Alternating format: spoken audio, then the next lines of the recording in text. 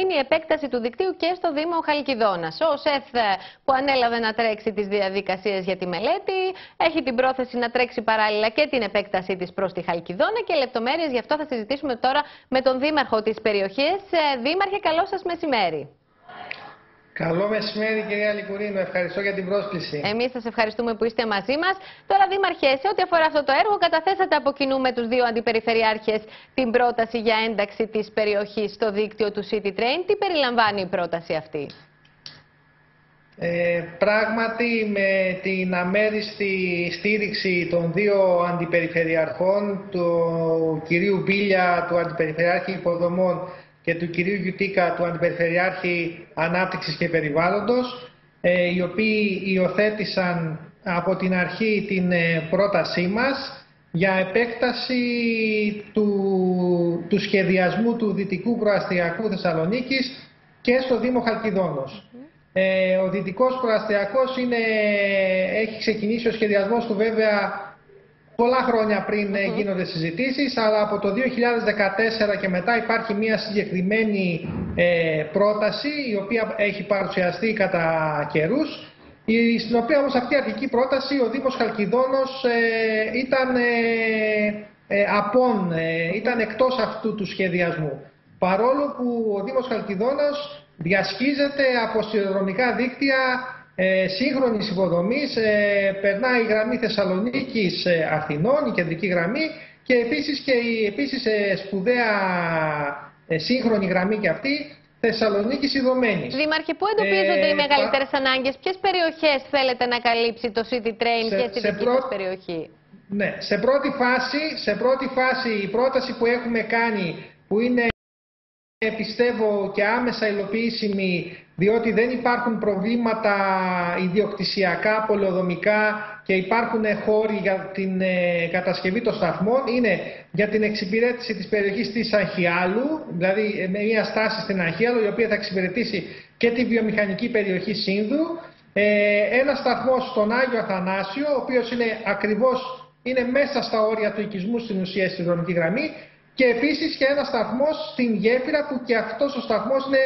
πάλι ακριβώς ε, δίπλα στο, στο, στο όριο του οικισμού. Και στη συνέχεια βέβαια, εφόσον αυτό το πράγμα υλοποιηθεί και προχωρήσει, μπορούμε να συνεχίσουμε την επέκταση και σε άλλες περιοχές του Δήμου μας, όπως είναι, ε, γιατί η γραμμή αυτή συνεχίζει σε Βατήλακο, Πρόχωμα, Καστανά, Ακροπόταμο, μέχρι, τα, μέχρι το νομό Κιλκίσα.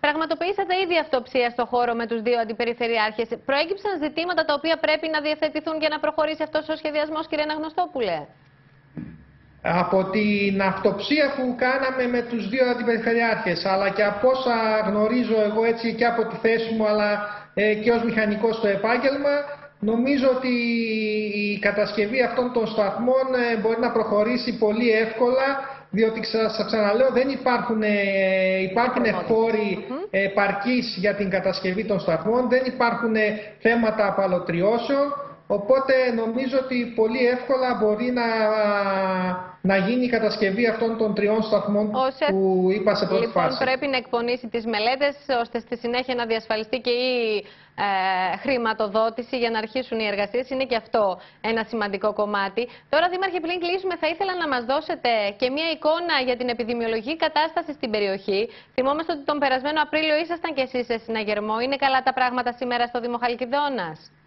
Ε, τα πράγματα πάνε πολύ καλά. Υπάρχει μια σημαντική ύφεση του φαινομένου. Ε, τα κρούσματα έχουν περιοριστεί πάρα πολύ, όπως επίσης και ο αριθμός των ε, δημοτών μας που νοσηλεύονται και θεωρώ ότι με, συνεχίζοντας να κρατάμε τα μέτρα, να, να τηρούμε τις οδηγίες ε, τις υγειονομικές, ε, νομίζω ότι θα φτάσουμε στο σημείο να, να μηδενιστούν τα, τα κρούσματα και το φαινόμενο αυτό, ώστε να μπορέσουμε να επανέλθουμε πλήρως στην κανονικότητά μας, να δουλέψει η αγορά, να δουλέψουν τα, τα καταστήματα και οι επιχειρήσεις που εδώ και ένα χρόνο και παραπάνω έχουν υποστεί πολύ μεγάλο πλήγμα. Η καλή αυτή κατάσταση μας επιτρέπει και άνοιγμα δραστηριοτήτων.